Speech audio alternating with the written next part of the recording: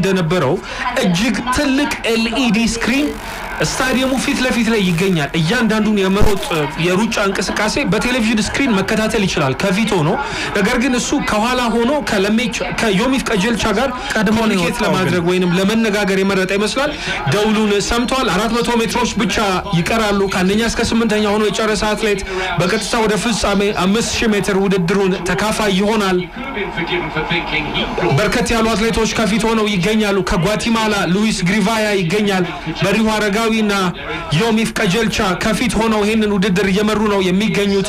መጠባበቅ፣ መነጋገር፣ እርስ በርስ መተያየት አለ በሁለቱ መካከል። ሉዊስ ግሪቫያ በዮሚፍ ቀጀልቻ የግራ ትከሻ በኩል ወደ ውስጥ ለመግባት ፈልጎ ነበረ። ነገር ግን ዮሚፍ ቀጀልቻ ከልክሎታል። ከፊት ዮሚፍ ቀጀልቻ በሪሁ አረጋዊ ይከተላል። ሉዊስ ግሪቫያ ጓቲማላዊው አትሌት ሶስተኛ ነው። ሞሐመድ ካናዳዊው አትሌት ይገኛል። ከዚያ ባለፈ ኬንያውያን፣ ዩጋንዳ በርከት ያለ ትግል አለ። እስከ ስምንተኛ ሆኖ ማጠናቀቅ ግድ ይላቸዋል። በሪሁ አረጋዊ ዮሚፍ ቀጀልቻ ወደ ፍጻሜው መሸጋገራቸውን አረጋግጠዋል። ቀለል አድርገው ነው በሪሁ ግን አሁንም ቀድሞ ከወጣ በኋላ ምናልባት ሁለት ሶስት ጊዜ መመላለስ አብዝቶ ነበረ። የበለጠ ይህንን ውድድር አሸናፊ ሆኖ ጨርሶታል። የመጨረሻው በፍጹም ያልተጠበቀ ፍጥነት ነበረ። ዮሚፍ ቀጀልቻንም በሪሁ አረጋዊንም ቀድሟል። እንደውም በሪሁ አህመድ ሶስተኛ ወጥቷል። በሪሁ አረጋዊ አራተኛ ደረጃ ላይ ነው ያለው።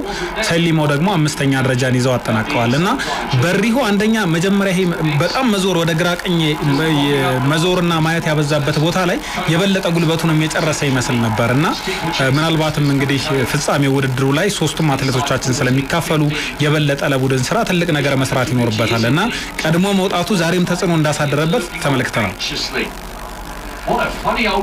በጣም የሚገርም ነው። እዚህ ጋር ነው ሉዊስ ግሪቫያ ለመውጣት በዮሚፍ ቀጀልቻ የግራ ትከሻ በኩል ከፊት ሆኖ የሚመራ አትሌት በፈለገው መንገድ lane ወይንም መም የመቀየር መብት አለው። እንግዲህ ሉዊስ ግሪቫያ ለመውጣት ስላልተመቸው ነው ዮሚፍ ቀጀልቻን የገፋው። በሪሁ አረጋዊ ከሉዊስ ግሪቫያ ጋር ሲታገል ነበረ። ዮሚፍ ቀጀልቻ ውድድሩን የጨረሰ መስሎ ፍጥነቱን ረገብ ሲያደርግ ነው ሉዊስ ግሪቫያ አፈፍ ያደረገው አንደኛ ስፍራ። ነገር ግን እስከ ስምንተኛ ሆኖ ማጠናቀቅ በቂ ስለሆነ ፉክክሩ ያን ያህል አስፈላጊ ላይሆን ይችላል። ኬንያውያኑ አትሌቶች ጋር ነው አሁን ትል ነበረው ጥያቄ ትልቅ ትልቅ ችግር ያለው ምናልባት እስከ ስምንተኛ ሆኖ ካልጨረሱ እነዚህ ኬንያውያን አትሌቶች የሩጫ እንቅስቃሴ በቴሌቪዥን ስክሪን መከታተል ይችላል ከፊት ሆኖ ነገር ግን እሱ ከኋላ ሆኖ ከለሜች ከዮሚፍ ቀጀልቻ ጋር ቀድሞ ነው ለማድረግ ወይንም ለመነጋገር የመረጠ ይመስላል። ደውሉን ሰምተዋል። አራት መቶ ሜትሮች ብቻ ይቀራሉ። ከአንደኛ እስከ ስምንተኛ ሆኖ የጨረሰ አትሌት በቀጥታ ወደ ፍጻሜ አምስት ሺህ ሜትር ውድድሩን ተካፋይ ይሆናል። በርከት ያሉ አትሌቶች ከፊት ሆነው ይገኛሉ። ከጓቲማላ ሉዊስ ግሪቫያ ይገኛል። በሪሁ አረጋዊና ዮሚፍ ቀጀልቻ ከፊት ሆነው ይህንን ውድድር እየመሩ ነው የሚገኙት። መጠባበቅ፣ መነጋገር፣ እርስ በርስ መተያየት አለ በሁለቱ መካከል። ሉዊስ ግሪቫያ በዮሚፍ ቀጀልቻ የግራ ትከሻ በኩል ወደ ውስጥ ለመግባት ፈልጎ ነበረ። ነገር ግን ዮሚፍ ቀጀልቻ ከልክሎታል። ከፊት ዮሚፍ ቀጀልቻ በሪሁ አረጋዊ ይከተላል። ሉዊስ ግሪቫያ ጓቲማላዊው አትሌት ሶስተኛ ነው። ሞሐመድ ካናዳዊው አትሌት ይገኛል። ከዚያ ባለፈ ኬንያውያን፣ ዩጋንዳ በርከት ያለ ትግል አለ። እስከ ስምንተኛ ሆኖ ማጠናቀቅ ግድ ይላቸዋል። በሪሁ አረጋዊ ዮሚፍ ቀጀልቻ ወደ ፍጻሜው መሸጋገራቸውን አረጋግጠዋል። ቀለል አድርገው ነው በሪሁ ግን አሁንም ቀድሞ ከወጣ በኋላ ምናልባት ሁለት ሶስት ጊዜ መመላለስ አብዝቶ ነበረ። የበለጠ ይህንን ውድድር አሸናፊ ሆኖ ጨርሶታል። የመጨረሻው በፍጹም ያልተጠበቀ ፍጥነት ነበረ። ዮሚፍ ቀጀልቻንም በሪሁ አረጋዊንም ቀድሟል። እንደውም መሐመድ አህመድ ሶስተኛ ወጥቷል። በሪሁ አረጋዊ አራተኛ ደረጃ ላይ ነው ያለው። ሰሊሞ ደግሞ አምስተኛ ደረጃን ይዘው አጠናቀዋል እና በሪሁ አንደኛ መጀመሪያ ይሄ በጣም መዞር ወደ ግራ ቀኝ መዞርና ማየት ያበዛበት ቦታ ላይ የበለጠ ጉልበቱንም የጨረሰ ይመስል ነበር እና ምናልባትም እንግዲህ ፍጻሜ ውድድሩ ላይ ሶስቱም አትሌቶቻችን ስለሚካፈሉ የበለጠ ለቡድን ስራ ትልቅ ነገር መስራት ይኖርበታል እና ቀድሞ መውጣቱ ዛሬም ተጽዕኖ እንዳሳደረበት ተመልክተናል። በጣም የሚገርም ነው። እዚህ ጋር ነው ሉዊስ ግሪቫያ ለመውጣት በ ዮሚፍ ቀጀልቻ የግራ ትከሻ በኩል ከፊት ሆኖ የሚመራ አትሌት በፈለገው መንገድ ሌን ወይንም መም የመቀየር መብት አለው። እንግዲህ ሉዊስ ግሪቫያ ለመውጣት ስላልተመቸው ነው ዮሚፍ ቀጀልቻን የገፋው። በሪሁ አረጋዊ ከሉዊስ ግሪቫያ ጋር ሲታገል ነበረ። ዮሚፍ ቀጀልቻ ውድድሩን የጨረሰ መስሎ ፍጥነቱን ረገብ ሲያደርግ ነው ሉዊስ ግሪቫያ ሀፈፍ ያደረገው አንደኛ ስፍራ። ነገር ግን እስከ ስምንተኛ ሆኖ ማጠናቀቅ በቂ ስለሆነ ፉክክሩ ያን ያህል አስፈላጊ ላይሆን ይችላል።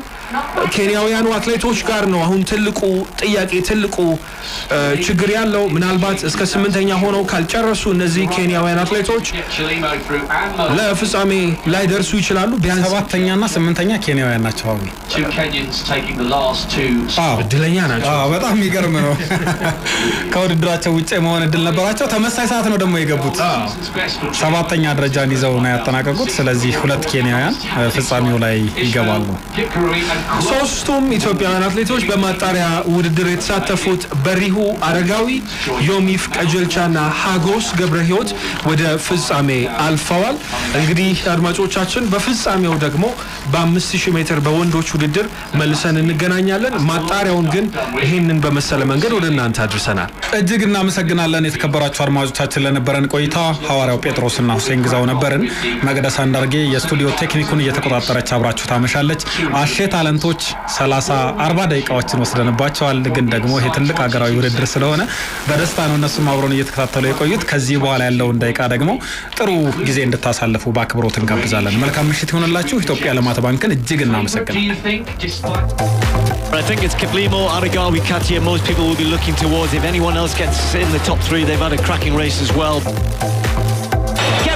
Looks up at the screen. He's made his move. He's made his bid, but he's going to come under pressure. 200 metres to go. Aragawi starts to move up. Peace and harmony. አሼ ታለንቶች ነን።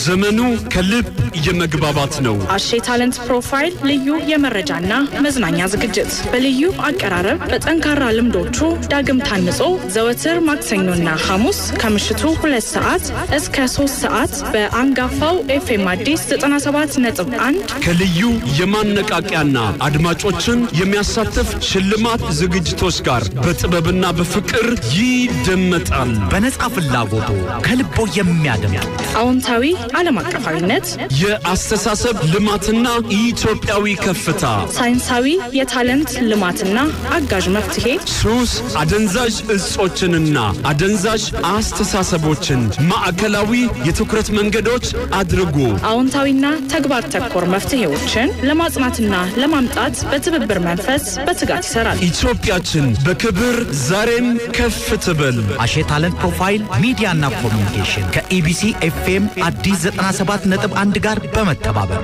መልካም ቆይታ